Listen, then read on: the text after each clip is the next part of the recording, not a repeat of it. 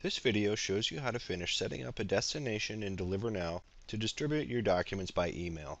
The instructions assume you have done the setup explained in the Part 1 video on setting up a destination. Let's get started. Find and click Email from the Destinations list to begin setting it up. To enable this destination, choose Yes from the Email drop-down list. The From field can be left blank if you've set a default From address in the email configuration settings or source settings. Your default setting would then apply.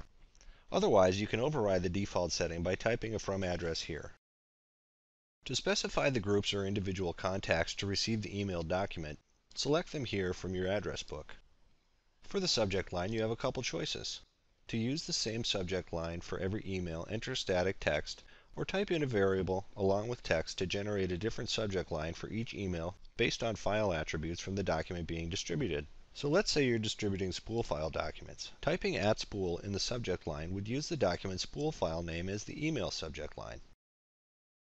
You can use many different variables with both spool files and PC files. A complete list is in Appendix D of the DeliverNow user guide. Moving on. For the message body, type the text you want to display in the body of outgoing emails. You can use any combination of static text and variables.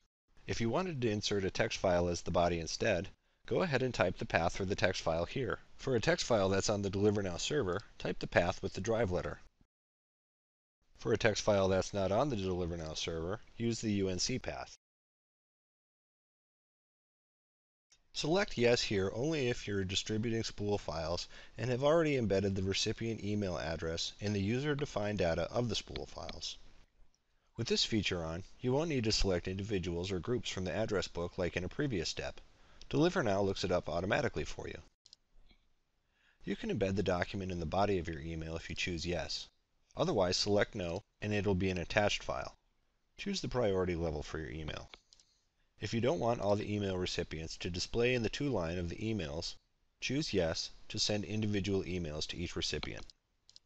To distribute these same documents to another destination, go to the corresponding Part 2 destination video for instructions.